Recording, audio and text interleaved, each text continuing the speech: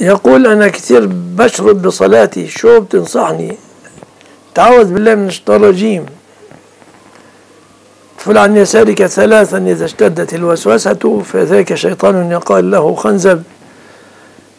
إذا أحسسته فتعوذ بالله منه. وادفل عن يسارك ثلاثا.